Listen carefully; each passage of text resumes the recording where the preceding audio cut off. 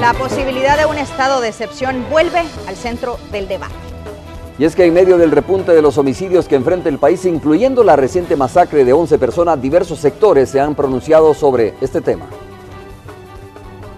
El artículo 29 de la Constitución de la República establece que en caso de guerra, invasión del territorio, rebelión, sedición, catástrofe, epidemia u otra calamidad general o de graves perturbaciones del orden público, podrán suspenderse las garantías constitucionales, es decir, todos los derechos que le otorga la Constitución a una persona. Medida que fue aplicada en la guerra, ahora se estudia la posibilidad de retomarla para combatir la criminalidad. Una decisión de esa naturaleza tiene importantes implicaciones jurídicas, políticas, económicas, sociales.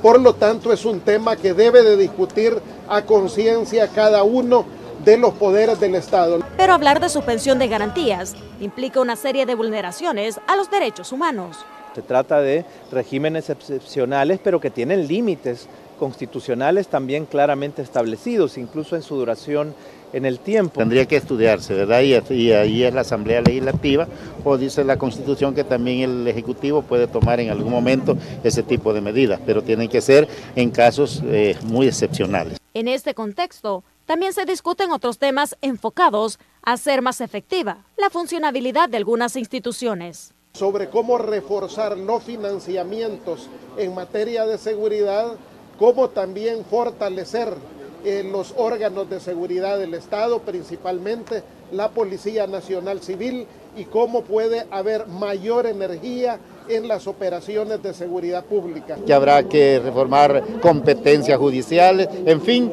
una serie de medidas que pudieran y eso es precisamente lo que hay que analizar. Las autoridades aún no hablan de fechas para aplicar las medidas ni cuándo se estará realizando una próxima reunión. Lo que se aseguran es que están dispuestos a hacer lo que sea necesario para controlar la inseguridad que se vive en el país. Este es un informe de Azucena Sandoval. Y en la Asamblea todos los diputados de todas las fracciones respaldan las medidas excepcionales que podría tomar el gobierno para frenar la delincuencia. Incluso esperan reunirse con el Ejecutivo a fin de presentar una serie de propuestas que se tienen en la Comisión de Seguridad.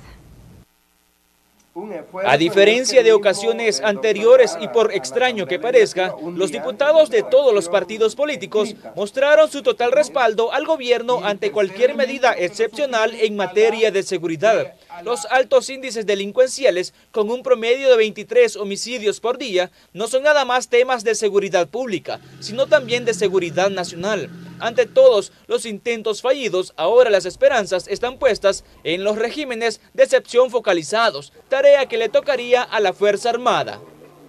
Y lo que nosotros humildemente le podamos aportar en base a experiencias, aquí hay fiscales como el señor vicepresidente, generales, militares, cada quien en su rama puede aportar los diputados buscarán reunirse con el presidente en los próximos días, llevando otras propuestas, como darle más atribuciones a la Fuerza Armada, llamar a reservistas de la FAES, un censo de pandilleros, que las retenciones de pandilleros pasen de 3 a 5 días para obtener información y además jueces sin rostro.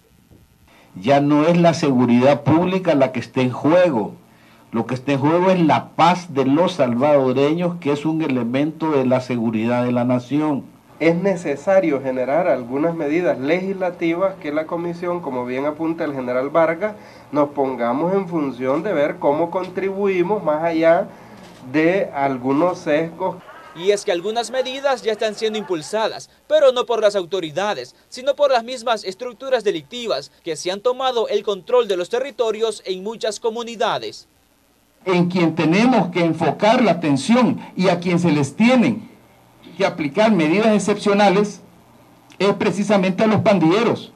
Los diputados también esperan que en la audiencia con el presidente estén presentes los titulares de la Corte Suprema de Justicia y de la misma Asamblea Legislativa. En esta ocasión, los diputados aseguran haber dejado las banderas políticas de lado. Habrá que esperar si esas palabras se convierten en realidad a la hora de votar por las propuestas que presente el mandatario en materia de seguridad. Con imágenes de Manuel Velázquez, informó Raúl Hernández.